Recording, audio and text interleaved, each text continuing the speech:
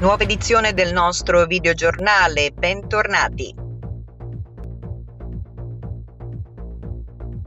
Vicenza stava andando al lavoro la 46enne vittima dello schianto su un albero. Samara era una guardia giurata, Mara Paladino, sposata, residente nel capoluogo, lavorava nel settore della sicurezza privata, si stava recando in azienda per il turno notturno.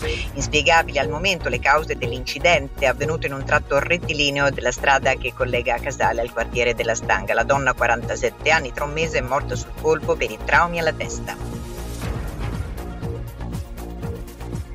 Carré perde il controllo, sbatte su un'altra auto in sosta, a bordo strada, ferita una donna. La conducente della vettura rovesciatasi sul tettuccio, un'automobilista vicentina è stata trasportata al pronto soccorso per verificare l'entità dei traumi riportati. Lo scontro con una macchina Opel parcheggiata al lato del fondo stradale ha determinato l'impennata del mezzo con intervento dei pompieri in supporto.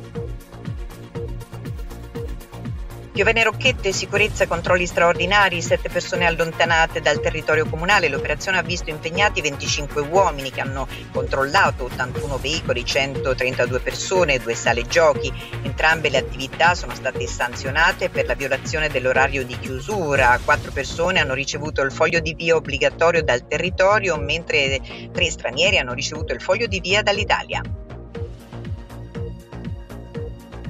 Previsioni meteo, ponte di Pasqua con correnti più fresche e variabilità. Il caldo degli ultimi giorni sta terminando, correnti più fresche dall'est Europa giungeranno nel ponte pasquale con un lento ma graduale calo delle temperature, poche precipitazioni previste. Domenica di Pasqua, prevalenza di tempo soleggiato.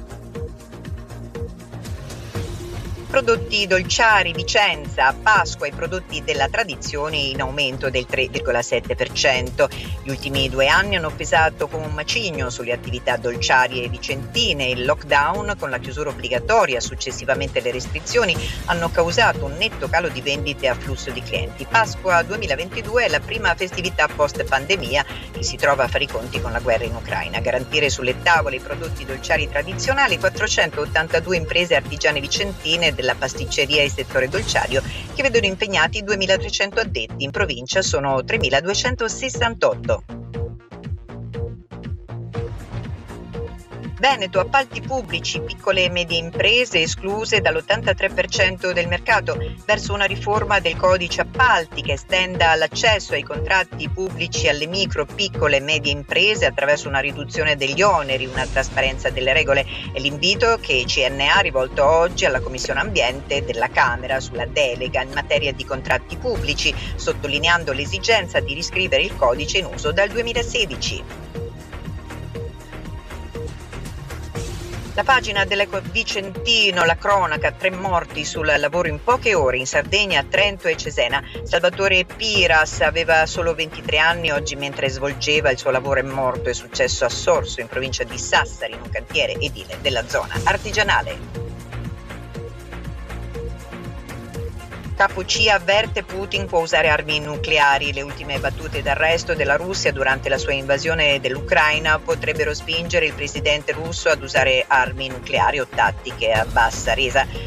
Lo afferma il direttore della CIA, William Burns.